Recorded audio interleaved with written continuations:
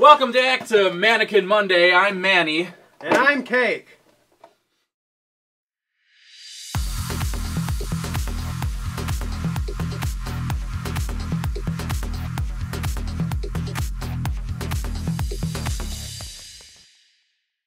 No, seriously.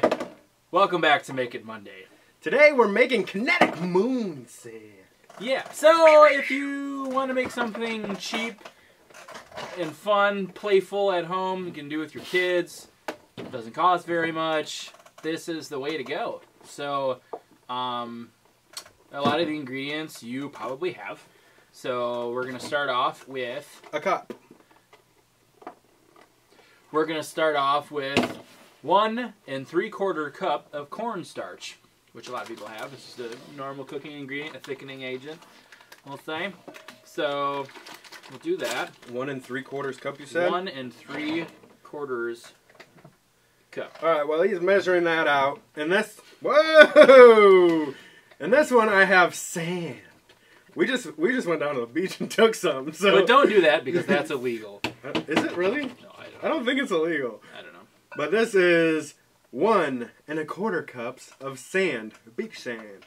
I'm sure you could use like colors. I mean, if you want to pay twenty dollars for a little bag of sand, you could go do that. But Yeah. And uh, you could probably use colored sand. You can use food coloring.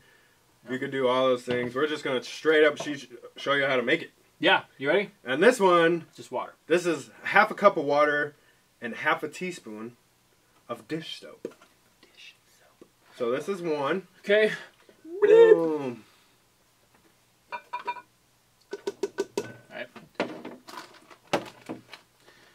You are getting more on you in the table than you are in the cup.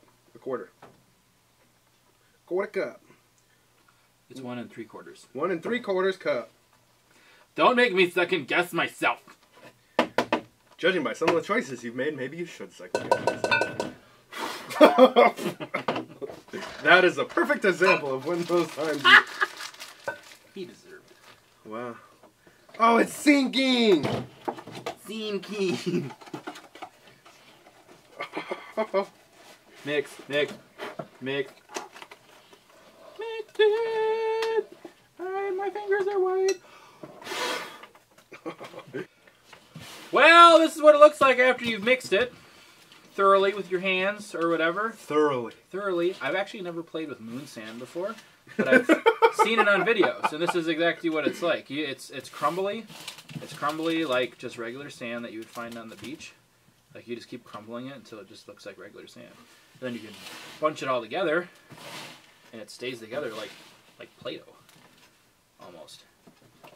You know, like one piece. And that's why they said it's like easy to pick up. It's not very messy because you can just pick everything up with it. You know what I mean? no, this is really cool though. I think it's cool. It would be cool. Can I have more? You get none.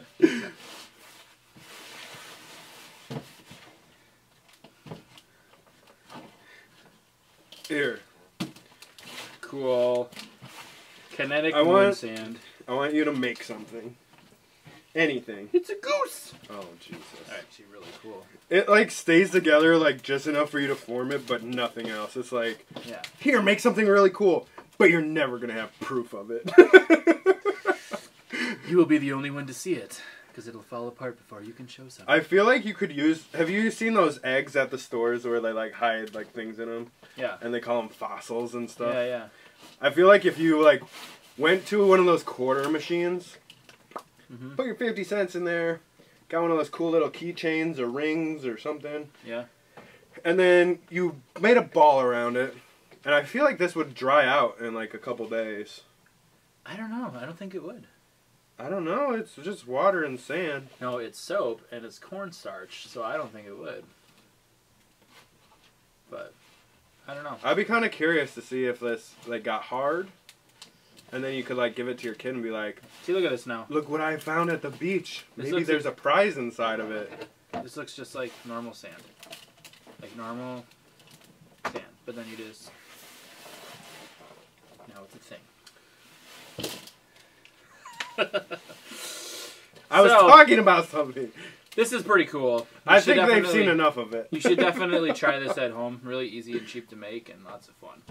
So That's the thing. It's cheap. it's cheap. You you can pretty much make it with stuff like for free for Yeah. the most part. Yeah. Or s- like stuff that you already paid for, you're gonna need in the future. So I mean, don't don't eat it. You probably die. But I mean, it's still cool to make. So and be careful when you're getting sand from the beach. There could be dog poop in it, yeah, or geese poop. or geese poop, goose poop, Goose- poop, geese poop. Well, thanks for watching. This was fun. This was very fun. And the comment shout of the day goes to Courtney Hep. She said, They used to have a spaghetti jelly bean that looked like the vomit jelly bean.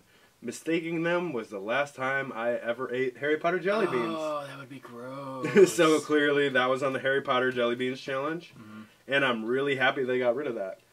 You know, when I pick this comment, I feel like I just talk about pointless shit like all the time. Anyways, when I picked this comment, I was like, I'm not. I don't know if I'm happy that they got rid of that. Like, I kind of want to taste the spaghetti jelly bean, but at the same time, I You would don't wanna mistake mistake that for That puke was a bad jelly bean. vomit. Is one of the worst. Yeah. Well, make sure to like, comment, and subscribe. Follow us on Twitter. Like us on Facebook. All. the links are in the description. but- uh,